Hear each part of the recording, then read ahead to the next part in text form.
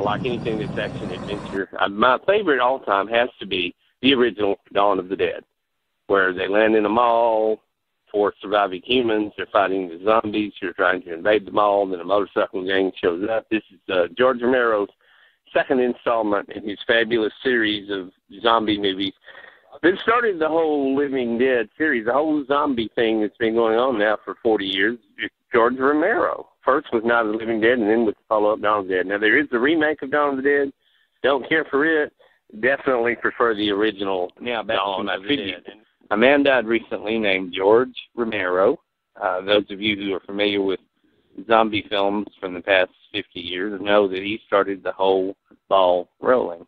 He is the father of the modern zombie film. Without George Romero, there would not be a Walking Dead that has become such a popular series on TV the past few years. George Romero started the whole ball rolling in 1968 with his small, independently financed uh, film, which he had a hard time distributing. He had to almost be a one-man distribution operation.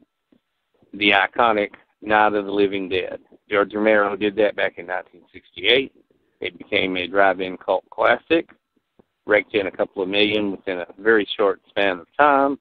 I believe, if my figures are correct, he did the whole thing on about a hundred thousand, possibly a little more. Definitely a very, very limited budget production-wise, but it became a cult classic, and it remains that today. A few years later, well, a decade later, I should say, uh, the 1979 release of Dawn of the Dead. I'm one of the the fortunate people who got to see it on the big screen Downtown Theater, Elm Street, Majestic Theater, Dallas, Texas, uh, and I saw Dawn of the Dead uh, on of all days, July 4th, 1979, after having gone down to the Texas School Book Depository in what was then a museum, not nearly the museum that it is now.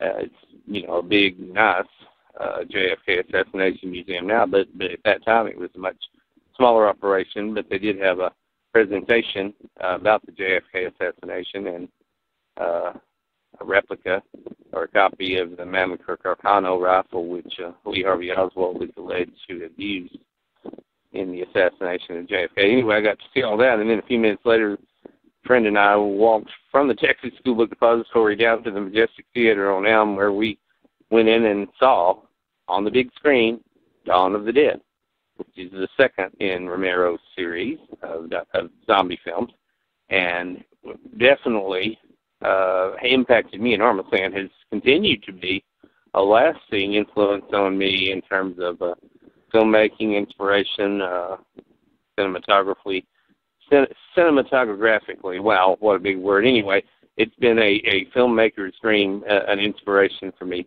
and I've seen Dawn of the Dead countless times uh, me and a group of friends used to go to midnight movies in Dallas and see it.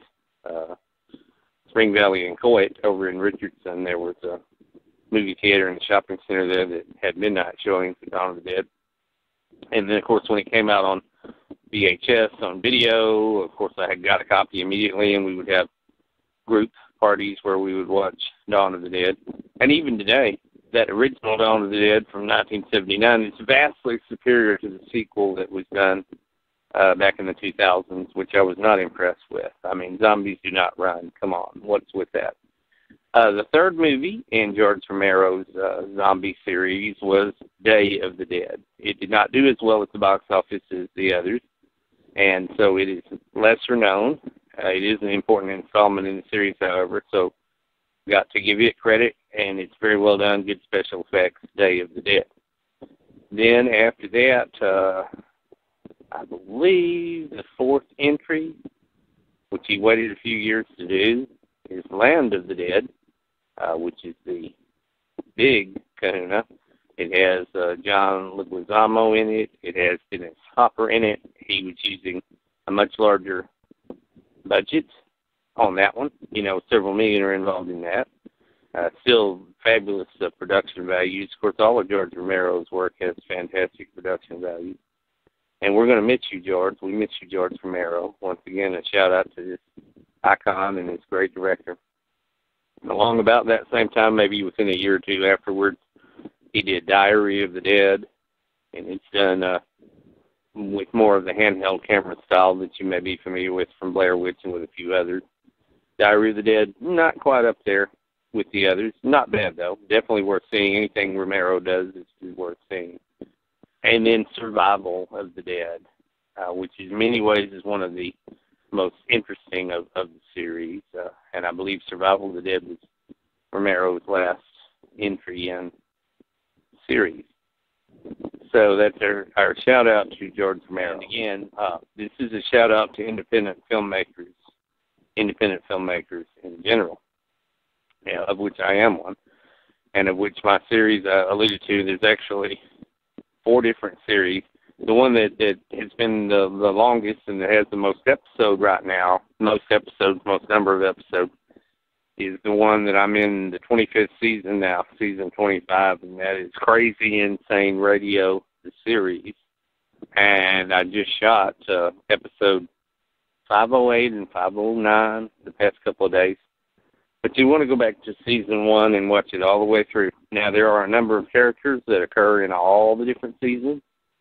And, you know, just like in any other series, there's going to be a, a character or two killed off here and there, and there's going to be new characters introduced and various uh, relationships and interactions between the different characters explored. And, uh, you know, I could definitely digress and go on and on about Crazy Insane Radio and have in a number of interviews, which are also available there on YouTube and uh, the director's commentary and what have you. And I do have these on DVD for anyone who wants to purchase them. Send a check or money order, nine ninety five, to two eighteen Bonham Street, and uh, I will send you the 218 Bonham Street, Paris, Texas 75460, and you can receive each series for 9.95 per DVD. So there's 25 DVDs total if you were to buy all 25 seasons. But uh, you can buy any or all seasons that you you would like, and and follow it. You can also go on YouTube to get a taste of it, to watch it, sample watch as many as you want of all the different seasons there on YouTube as well. One of the other series that I've done that has only in the second season right now is a futuristic space series called The Future Hope. It does contain some of the characters from Crazy Insane Radio, so it's a spinoff. Another spinoff that's set in the same city it's Crazy Insane Radio, of course, is Murgatroyd After Dark, which follows a lot of the different characters in the series. And the other one is Murgatroyd The Early Years. Now, I really like Murgatroyd The Early Years because I went back and I took a look at a lot of the different characters and showed what they were doing before the main events, the main plot, and the main action in Crazy Insane Radio. So you could call Murgatroyd The Early Years a prequel. Uh, that is what it is. Uh, a prequel.